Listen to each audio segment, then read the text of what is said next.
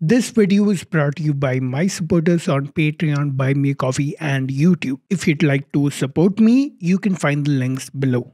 This may perhaps be the biggest and most controversial video on my channel because I'm criticizing the government of India. There's a problem in my country that I feel is barely being addressed, and it's a problem that greatly affects its people. The government of India, instead of solving it or even ignoring it, is actually making the problem worse. I'm talking about alternative medicine. And if you're thinking, alternative medicine may be ineffective, but it's harmless. So, why is he making a big deal of this? This video is especially for you. Hi, my name is Pranav, and you're watching Science is Dope. In this video, I'm going to go into why alternative medicine is harmful and how the Indian government is contributing to that problem. And just so you don't have to take the word of some medically untrained guy, I decided to take a look at the actual research being done. Not only that, I talked to multiple doctors to see what they had to say on the topic. All that is coming up in the video, and needless to say, I have to give a long video alert here. This video is the longest I've done, but I put timestamps below to make it easier for you. You might have to watch this video in multiple sessions. But that being said, let's begin.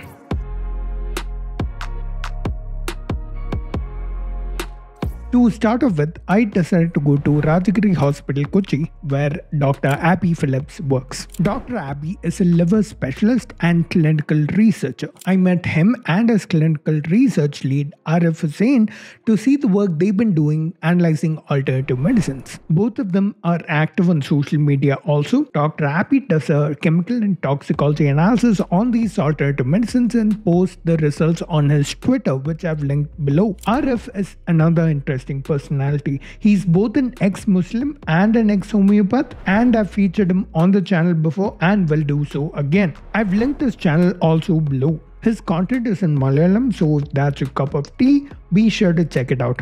Back to what I did there. Not only did I get to see the analysis they've done, they also showed me all the alternative medicines they confiscate from patients who come complaining of liver issues. I even got to sit down with Dr. Abby and do an entire podcast, which will be released at a later date, but I've used parts of that podcast in this video as well. Imagine you're a doctor. What do you do if you get a patient complaining of a problem? You try to find out what the problem is and try to see if you can solve it using treatments or medicine. But what if you can't figure out what the problem is? That's what happened to Dr. Abby. I saw a group of patients with severe hepatitis, jaundice, and everything, uh, but without any identifiable cause. Mm. So there was no alcohol component there. They were all teetotalers. Mm. They had uh, probably some metabolic disease like diabetes or hypertension or hypothyroidism. But all that won't cause so much of jaundice. So then we looked at uh, viral infections. So mm. viral hepatitis A, E. So all of those infections, everything was actually negative. Mm.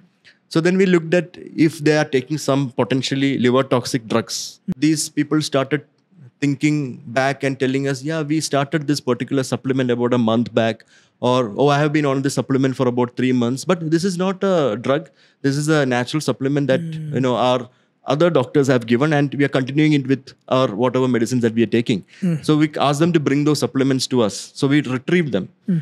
And we found out most of them were ayurvedic formulations mm. and uh, most of them were traditional formulations and some of them were proprietary formulations could these ayurvedic supplements be the cause of the liver damage or what if this was all just a coincidence? There's only one way to find out by actually figuring out what's in these alternative mints. And we subjected that to analysis, toxicology mm-hmm. analysis, and found out that a lot of them were contaminated, some of them were adulterated, mm. and some of them actually had well-known uh, liver toxic herbs in them. So it's it's all of those causing uh, problems of liver damage in these patients, and mm. some of them even take liquid formulations. So these liquid formulations contain alcohol.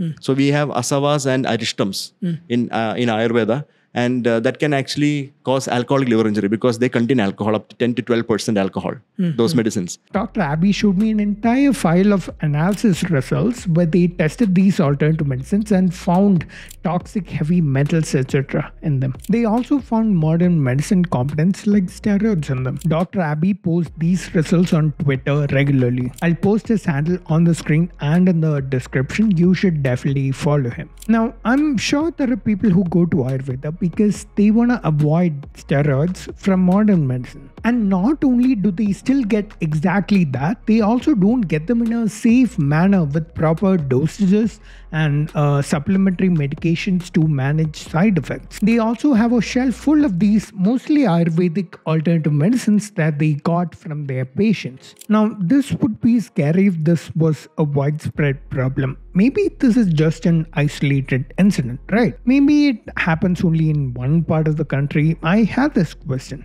how much does it affect the public? How far and wide is this problem? How prevalent is this problem? The use of alternative medicine was at some point in the last year when we spoke to them was about uh, 60% 60% of them used some form of alternative medicine within the last year that that they were on uh, other medications also. When we looked at in patients with underlying liver disease that went up to almost 70 to 75% so a lot of people use complement alternative medicine on the side. Now this is the usage of these uh, therapies, and what we found out that in our studies is that the people who actually use it, more than one third of them develop some sort of adverse event. This is clearly something that affects people all over the country because of the immense popularity of Ayurveda. We'll address what is being done about it and what should optimally be done about it, but why is Ayurveda and other alternative medicines so popular? I mean, given all these issues with alternative medicines, wouldn't people just stay away from it? Instead, it's really popular, which means there has to be something in it that works, right? When do you know something works? When it does what it claims to do. In fact, that's the basic criteria anything should meet. For example, if you have a plane, it should be able to fly. If it can't, then it's absolute garbage. In short, you cannot have alternative flight technology or alternative rocket science or alternative nuclear technology. There's a very clear line separating what works from what doesn't. But why do we still have an alternative medicine? Because with medicine, this judgment of whether the medicine works or not becomes difficult. There's no clear line separating the two. Let's say you had a cold and you took a pill and you got better. What made you get better? Was it the pill or was your cold just gonna get better on its own? It could have been any number of different factors that led to your recovery. One of these factors is the pill, but since people have a tendency to think that their recovery is entirely because of the pill, people forget or ignore that one of these other factors could have also led to your recovery. Someone in my family has a skin condition called psoriasis. They told me they cured it using Ayurveda. Most people will take the story and conclude positively about Ayurveda, but when you ask this person for more details on the story, you learn how their Ayurveda practitioner asked them to continue whatever modern medicine drugs they were taking that their doctor prescribed them. Also, let's please call it modern medicine and not allopathy because the two are very different. Allopathy was the heroic medicine that was there in Europe in the 17th and 18th century. It involved practices like drilling holes in skulls, induced vomiting, bloodletting, etc., that often harmed the patient more than it helped them, and clearly it wasn't very scientific either.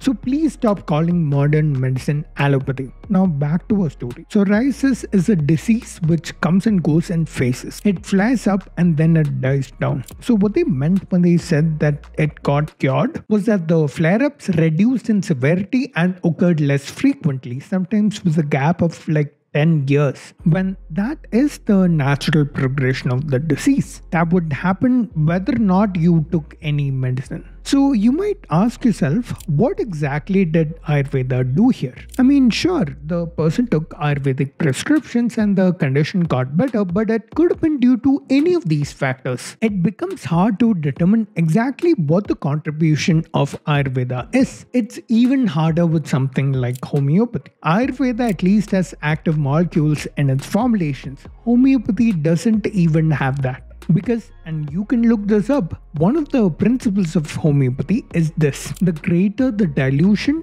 the greater the potency of the medicine. Homeopathic formulations are hence diluted so much that not a single active molecule remains in the solution. And what the patient ends up getting turns out to be just water. So why does homeopathy have such a principle. Because back when they came up with it basic chemistry wasn't well understood. Nobody knew that diluting a solution so much completely removed everything dissolved in it. In fact all these schools of medicine ayurveda unani siddha they were all made at a time when we didn't know science very well. We didn't know how to evaluate what actually worked. And worst of all these systems didn't update themselves as our knowledge advanced. Even today, they're mostly still the same with their disproven core principles unchanged. We'll talk about this failure to update themselves later on in the video, but right now I want to point out this irony. The irony that despite the fact that these medicines aren't made with basic scientific principles, or the fact that these medicines might not actually do anything in the body against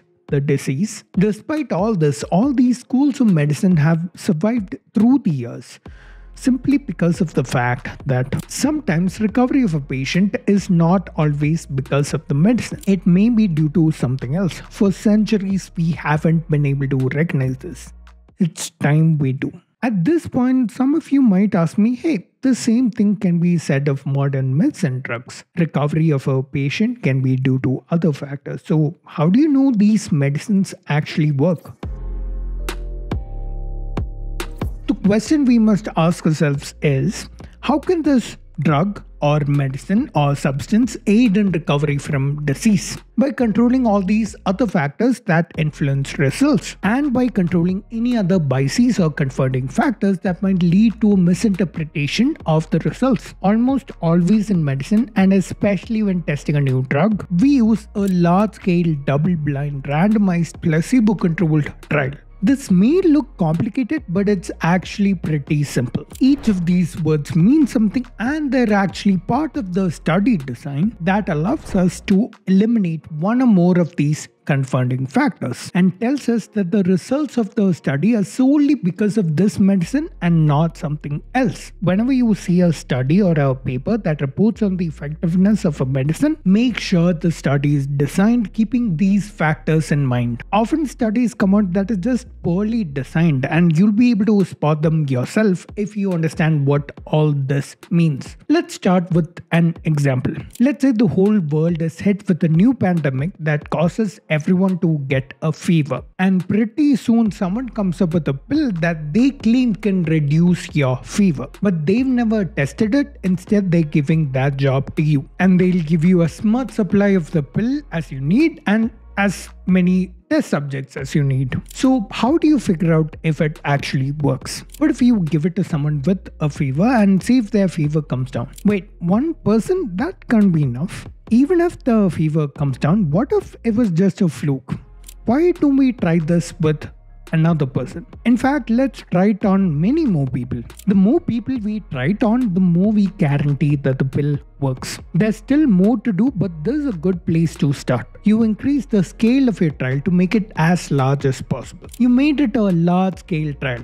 Three more to go you notice that even though you've made it large scale, all your test subjects are from the same age group. What if the people you chose were otherwise young and healthy, and maybe that helped their bodies fight the disease more efficiently? You need to test your meds on some older people. But then again, why just limit your search based on age? Let's get people of all ages, genders, social backgrounds from different geographical locations, etc. All sorts of random people you've randomized your trial Two terms down, two more to go. But if you just look at what you've done so far, you've eliminated a lot of the factors that would have otherwise influenced results. If a person in your trial is eating a diet that helps them, someone else might not be. If someone exercises a lot, someone else might not. If someone is young and healthy, someone else might not be. If one person has good genetics that help them fight a disease, someone else might not. You've basically averaged out all these factors across the whole group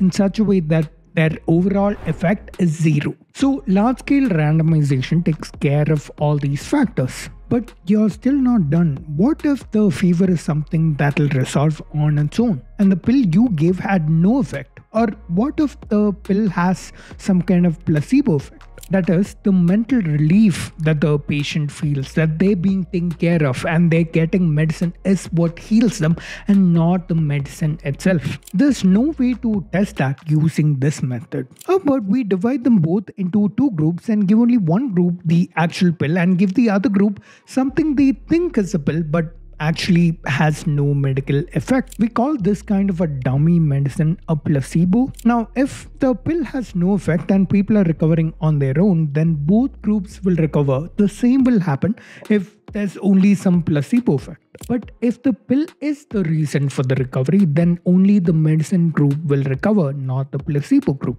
This kind of a trial where we give the medicine to two groups and compare the efficacy of the medicine against a placebo is called a placebo controlled trial, with the two groups being called the medicine group and the placebo group or the control group. We are controlling the factors that might influence our results. And with that, we've explained the third part of our complex name, and already you can see we've taken care of nearly every factor other than the pill that might influence our results. There's one term left and one major factor bias. A bias is a preconceived notion about something and it leads you to perceive something that's happening in a certain way. For example, you may feel you're getting medicine and that might lead to you attributing your recovery to the medicine irrespective of whether you're in the medicine group or the placebo group. We want to know if this bias has any role in recovery. That's why we don't inform participants as to whether they're getting the medicine or the placebo. In other words, we blind them. Now, by comparing both groups, we can tell how much of a role this bias played in the recovery. But this is only single blinding. What about double blinding? It's not just the participants who may be biased, the medical officers who administer the pill and examine the patients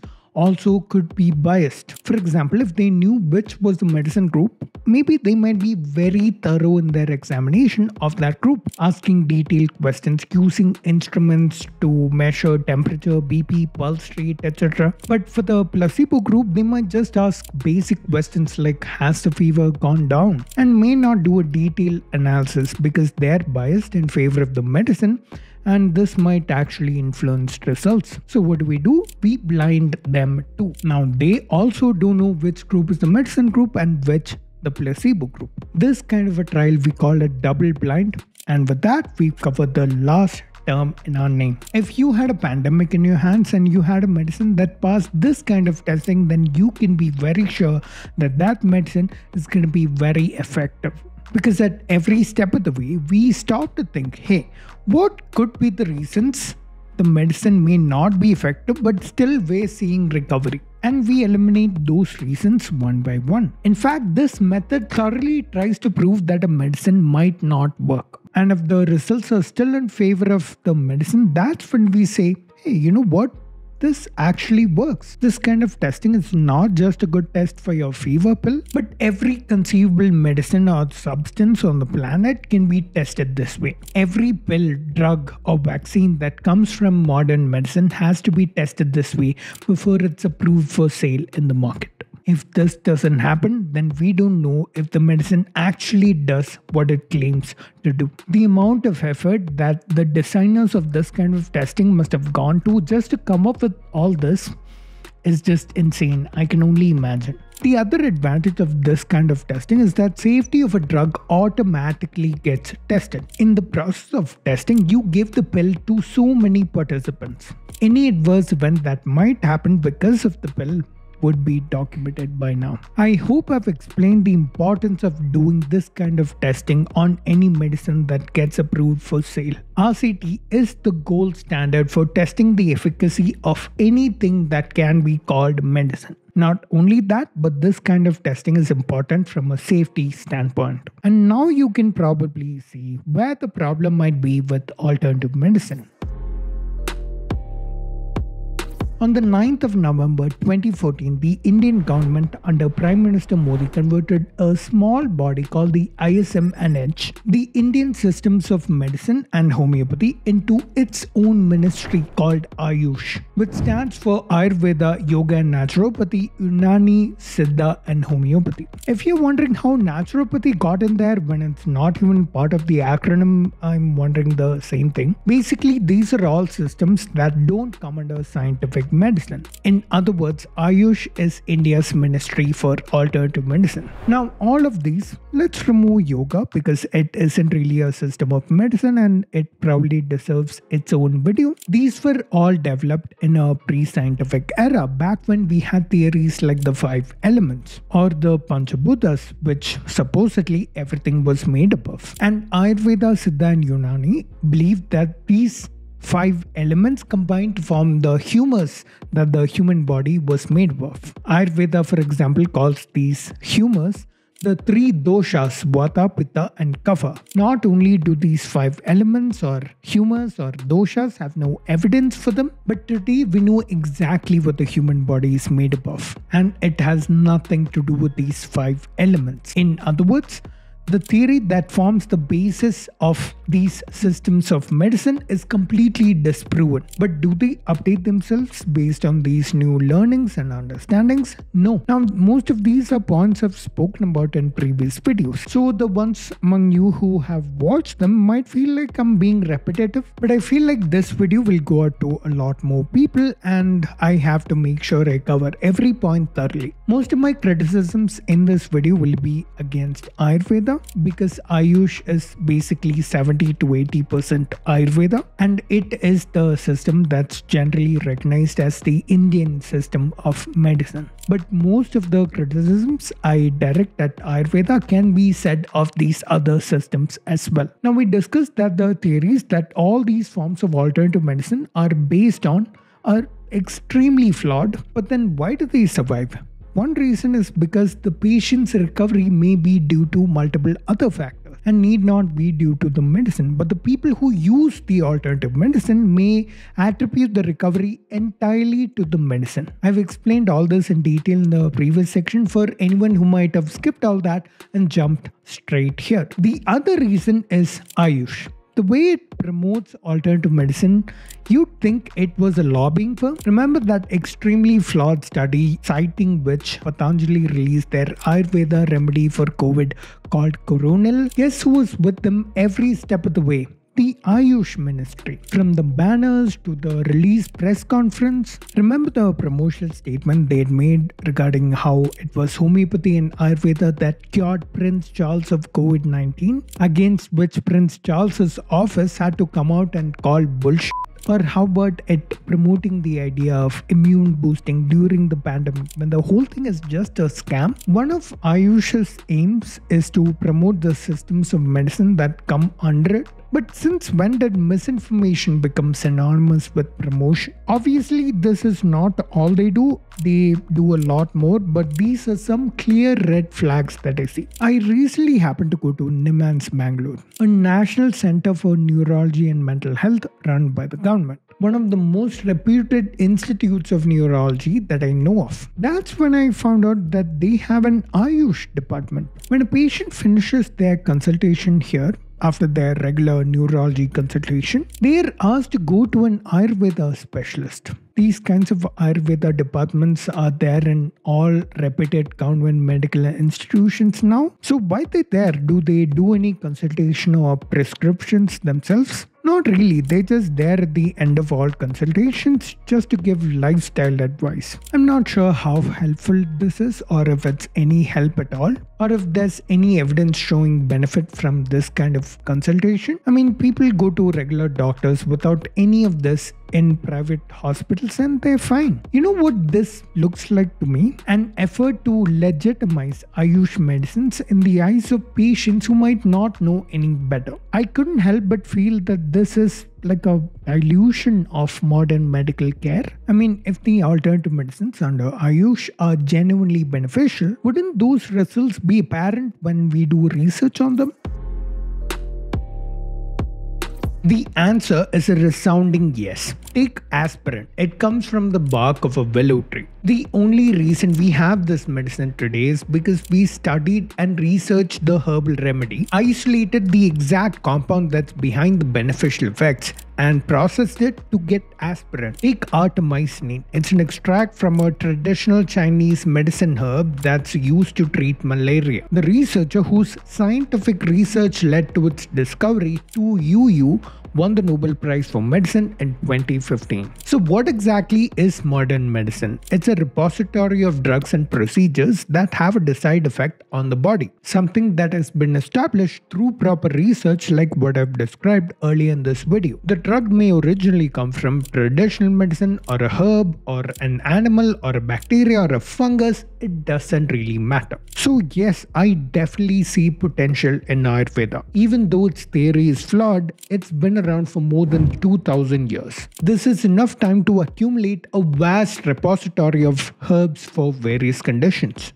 Herbs that might have active components that can be isolated and extracted through research. That's the key research. Positive effects, if there are any, have to be established through research. People all over the world are suffering from debilitating diseases, some of which are incurable. So, shouldn't they have access to an effective treatment no matter where it's from? Why classify medicine on the basis of its origin, like as Ayurveda or homeopathy? We should classify medicine on the basis of its effectiveness, on whether it works or not, even if it comes from alternative medicine. And by the way, you know what they call alternative medicine that works? Medicine. What's more, this same testing and research can lead to better safety. So, is this kind of research being done by Ayush? If you go look at the Ayush Ministry's portal on the CCRAS web portal, you can actually see a lot of these studies have been registered there. But none of them are actually published. And even if they are published, they are going to get published in some dubious low level third rate journal like Journal of Integrative Medicine or Journal of uh, Yogic Knowledge or something like that, or the Tree of Knowledge and all that. And uh, recently, they, uh, they they even published a paper in the Journal of Magical Thinking. There is a journal like that, and the publisher is, I mean, that publisher's name is also like that. That was actually reported by newspapers also. So that is the stuff that they do. I mean, you take money and you do some vague work and you publish in some dubious journal and make it a news item. The newspaper will lap it up, all the uh, social media, uh, uh, online media, everybody lap it up, and people think something great has happened. Absolutely nothing has happened. I mean, there is not a single drug. So there are some. Um, yeah, I think this is very important because you mentioned that has something been done. So there are some proprietary drugs that has been designed by Ayush Ministry along with CCRAS uh, with the help of uh, other institutions, right? So they have these drugs for diabetes like BGR64 and you know stuff like that. Uh, but if you actually look at that, uh, na- there, are, there is no validated or replicated proper peer-reviewed published data on these drugs. They have been directly marketed as something that the Ayush Ministry or the CCRAS has identified as being uh, something of value for the people and a lot of people and i think uh, the hindu has written about how dubious those studies were and how how much of a fraudulent product uh, this particular drug was. Uh, so you have a lot of drugs like that um, where there is no actual research done but it is marketed on the basis of uh, fake claims that research has been done. Are they doing some research which might have some positive outcome in the future? I'm yet to see a proper research uh, that has uh, I mean, a good quality research with good methodology yet to come out from the stables of Ayush.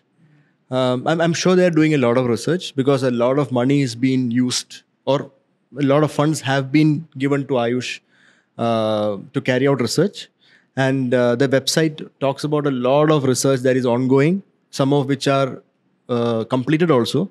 But I don't see any of them being published in any reputed journals or uh, any of those with a proper methodology or a, sound, a, a, a solid uh, quality kind of trial. Because if that uh, had happened, I would we would definitely know about it. So what we get instead are small pilot trials or some basic science trials, some computational studies, um, some observational uh, studies from uh, not not only the public Ayurveda institutes, but from private Ayurveda companies. Uh, but this does not translate uh, to anything clinically. So I have not yet seen a good uh, publication or a research, uh, you know, study that has been fully funded by the ministry and that has come out from the stables of Ayush. At this point, I should address something. This video seems awfully one sided, doesn't it? I'm sure my haters would have noticed it. I'm sure I'll get a comment like, oh, why didn't you include an interview with an Ayurveda practitioner? And here's my answer. You think an Ayurveda practitioner would want to give me that interview and have their name attached to it? After they know what the topic of this video is, they risk having their license revoked by an Ayurveda body that doesn't like what I say. You're welcome to prove me wrong though. If you're an Ayurveda practitioner and you're watching this and you'd like to have a discussion with me publicly, Feel free. I'll even tell you what you can do to convince me I'm wrong. Just show me evidence. And not some vague conclusion from a random paper, but a proper well designed study with a peer reviewed conclusion. And to anyone who's asking me, was my journalistic integrity? Why am I not showing both sides of the argument? This is like asking a journalist showing the shape of the earth is round and asking them why they're not showing what flat earthers say. Because the truth doesn't lie in the middle, it clearly lies to one side. It's not your job to show what these guys are saying and what these guys are saying. It's your job to put the truth out there and back up your arguments with evidence for why it's the truth. Okay, so we've established that Ayush drugs are both ineffective and unsafe. If that were the case, then why are they available in the market at all? Because these are these are not marketed as medicines. These are marketed as health supplements or nutritional supplements.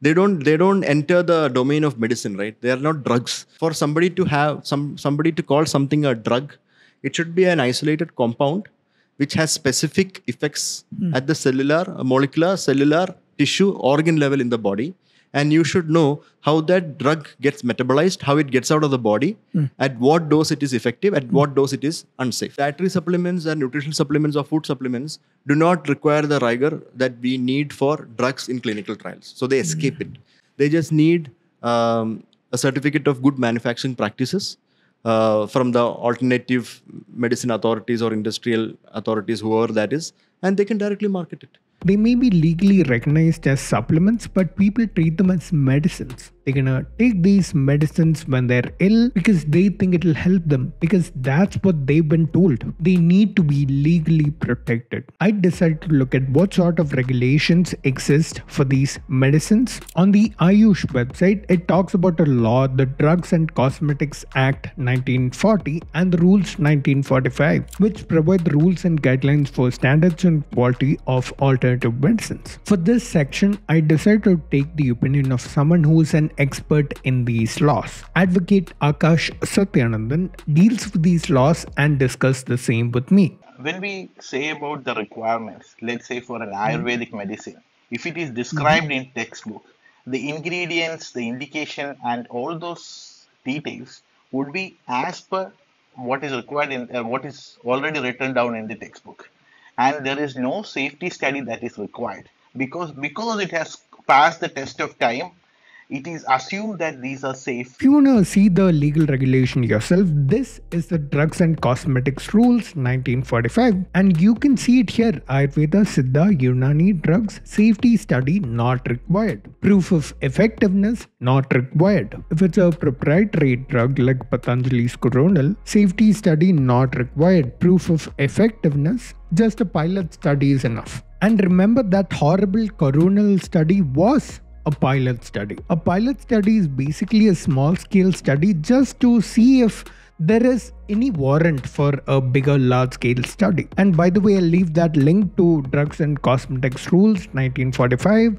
below. You can go check it out yourself. I'm just reading this and I'm literally shocked. What responsible laws regarding medicines would say something like this?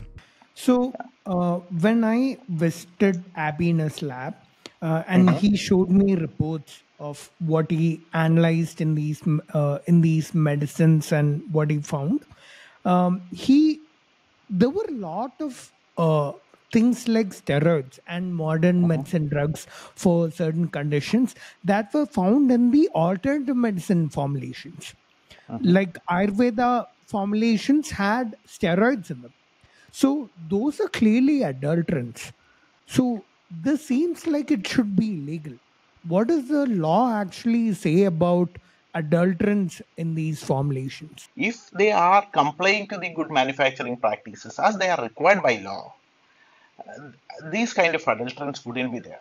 But what I understand from you is that these adulterants were not by accident, but more with a purpose. And that is something that can't be stopped by law unless the, the law enforcement agencies also step up and stop this practice. Yeah, that's also something I want to ask you. Uh, like, is the enforcement regarding this law?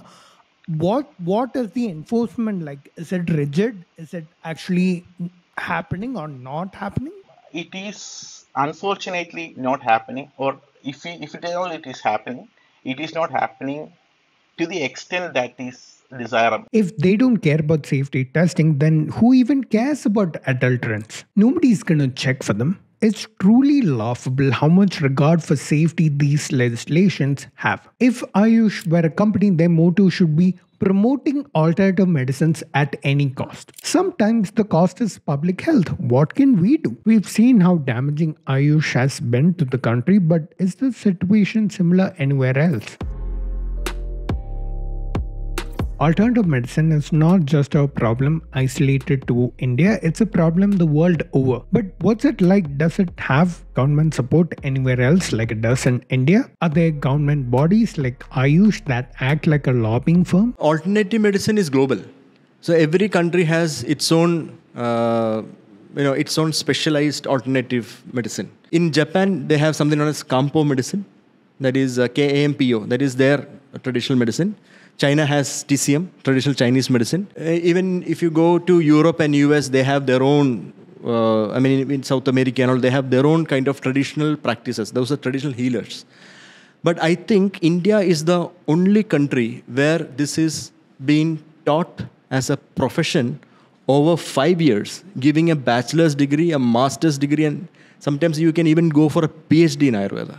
That's right, there are bachelor's and master's courses in all these medicines. In fact, the entrance exam NEET, through which students take up both these types of courses, is a single entrance exam. The top ranking students of this exam get a seat in a prestigious modern medical institution like the AIIMS and get to do their MBBS, while the bottom ranking students have two choices ahead of them. Either repeat a year of learning and preparing for the entrance exam and take it again and hopefully get a seat in an MBBS course or go for one of these alternative medicine courses like the BAMS or the BHMS. A lot of students just opt for the latter because they don't want to be stagnant in life. They want to get ahead, and in their eyes, alternative medicine is not really a bad option. They've probably seen Ayurveda and homeopathy doctors all their lives, and now there's this government body promoting it.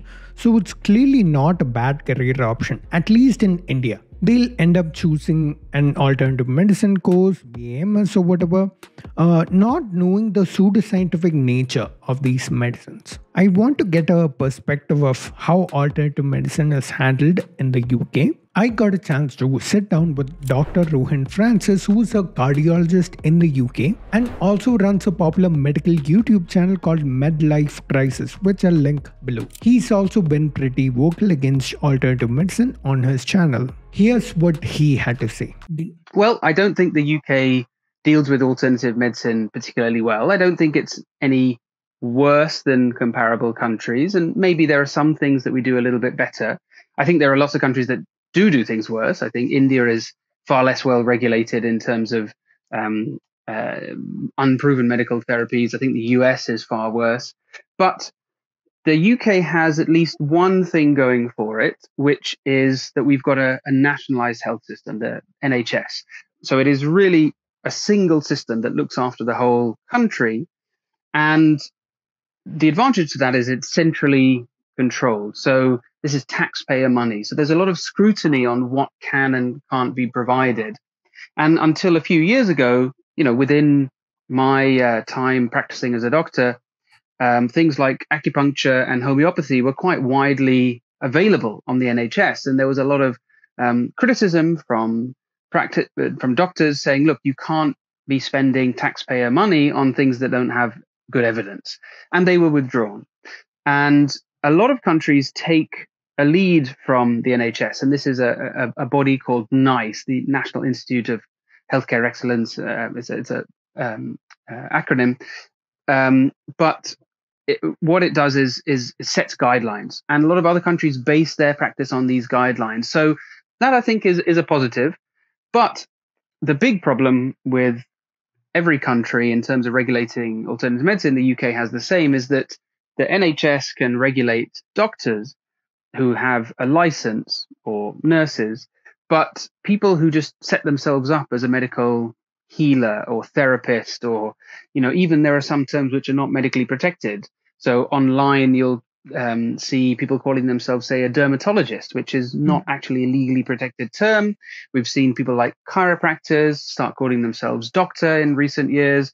Um, and these things have just gradually crept in to erode the public understanding of, of you know who are you actually seeing what are their qualifications and if you're not a member of a professional body like the uh, general medical council that oversees doctors then you know who are you actually answerable to? So there's no group that is is going to be regulating these people who are outside of professional standards um, except the government. And and you know frankly the government doesn't do a very good job um, uh, looking after these things.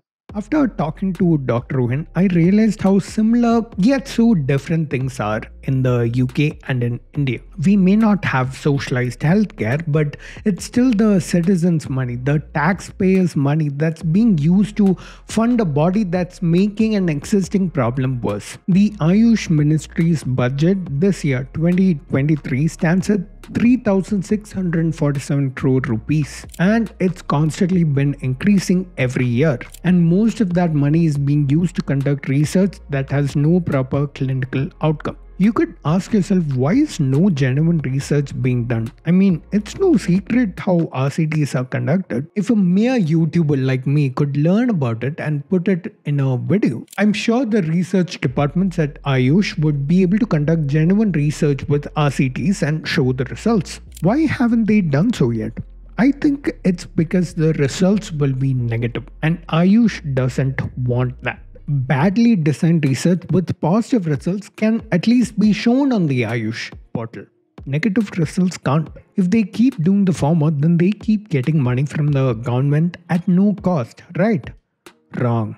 They're doing this at the cost of public health. Their clear negligence on safety has a cost. Outside India, also, Ayurveda doesn't have a great reputation. The US FDA, for example, warned people against the use of Ayurveda for the presence of toxic metals in it, like lead, mercury, arsenic, etc. If you're familiar with the verses of classical Ayurveda, then you'll know that these verses describe lead, mercury, etc., toxic metals as ingredients. This wasn't an accident that these toxic components were found in these medicines, the primitive science of Ayurveda considers lead, mercury, etc. as genuine ingredients. Now, I'm saying all this, and I'm sure this video would have gotten a ton of hate comments by now there is a section of people whose livelihoods directly depend upon alternative medicine, like its practitioners. They're not gonna like this video. There are people who think I'm attacking their religion with this video. I don't give a rat's ass about them. It's the former group that I care about, and we need to talk about them.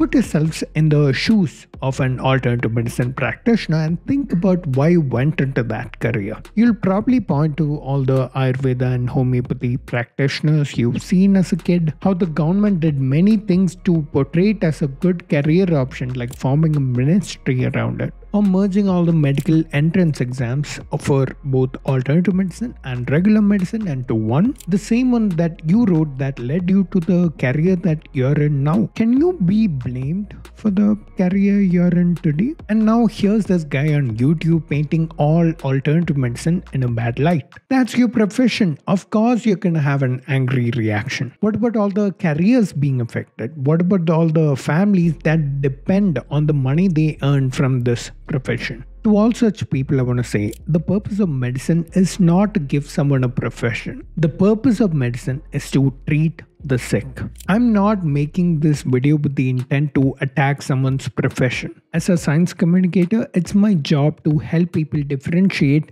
between what's scientific and what's not, especially if it concerns public health. But at the same time, people whose profession is alternative medicine, they can't be doctors, but they still need a profession to that they can earn money from. I had a chat with Dr. Abby about this. Like someone who's just finished a bachelor's degree in alternative medicine, who's just learning about how pseudoscientific it is and doesn't want to practice it, what career options does he or she have? I've had a lot of uh, such young graduates messaging me on Twitter and uh, on my email they want to know what can they do next to improve their chances at a profession or a career.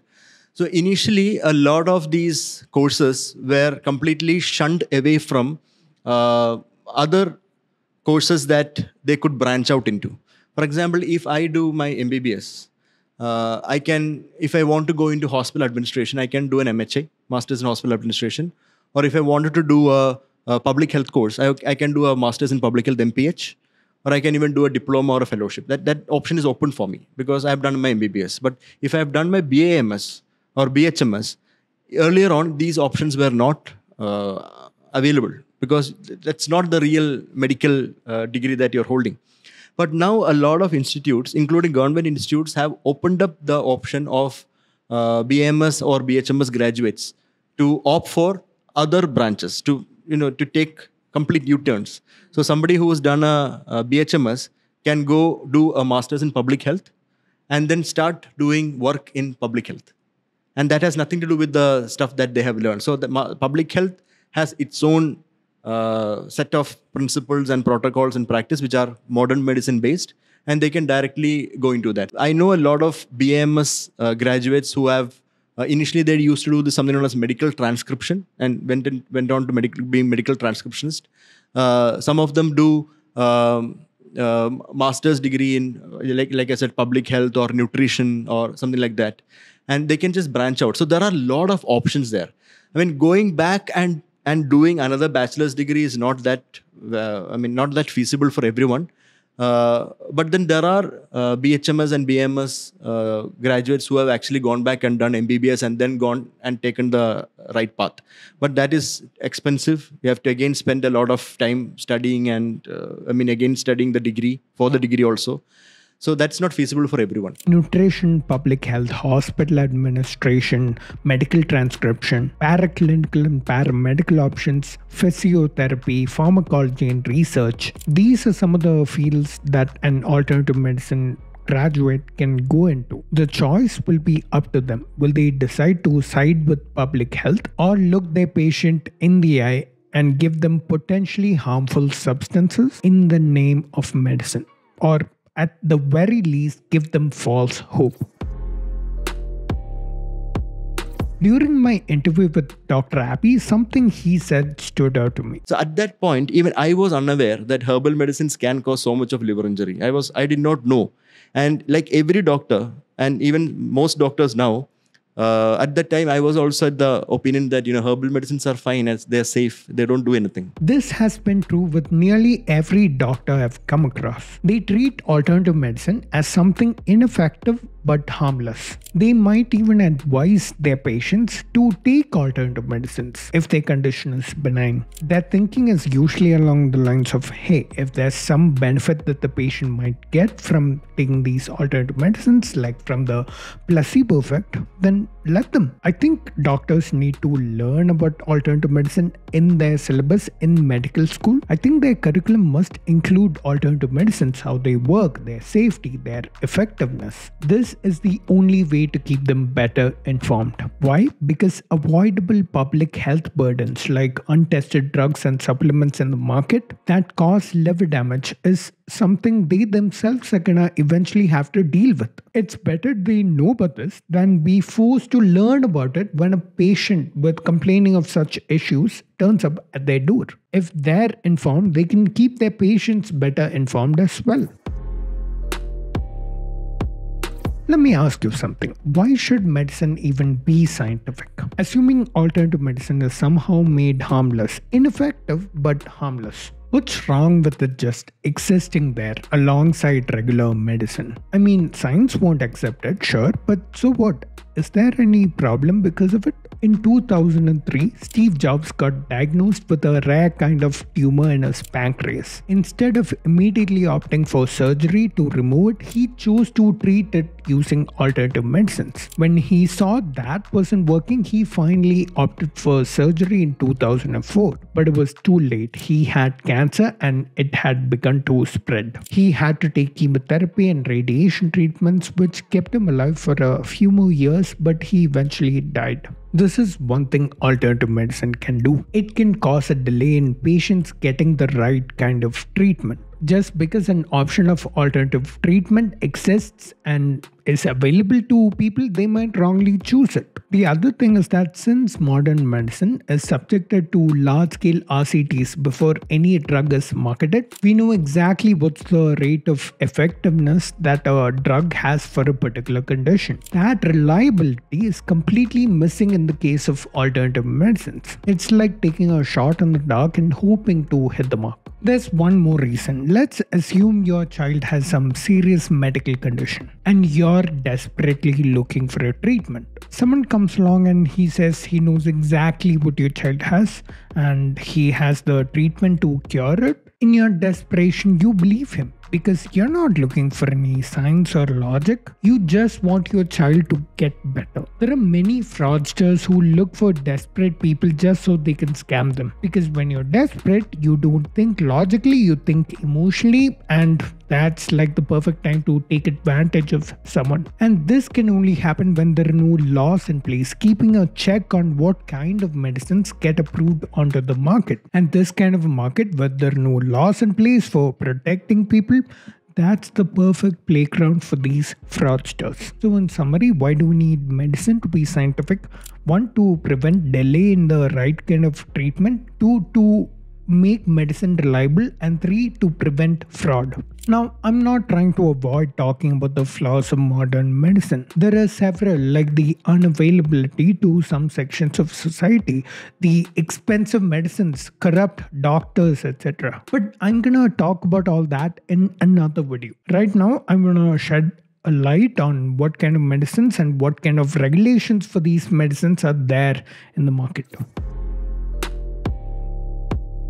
I shouldn't even have to make this video. And you shouldn't have to watch this to understand how RCTs are done and medicines are tested. Your country's government should do that for you. What do we pay them taxes for? It's the government's job to sort out fact from misinformation and set regulations accordingly to enforce safety laws and maybe even educate the public. It's not the people's job to learn all this. And when public money comes in, instead of putting thousands of crores in alternative medicine, maybe use some of that money to subsidize existing modern medical care, train more actual medical doctors, build modern healthcare in rural areas, educate the public on how traditional medicine can be flawed, and most importantly, again, subsidize. Also, separate entrance exams. There should be two separate exams for students who want to go into regular medicine and into something alternative. A student shouldn't have to choose a career in alternative medicine just because of one bad exam result.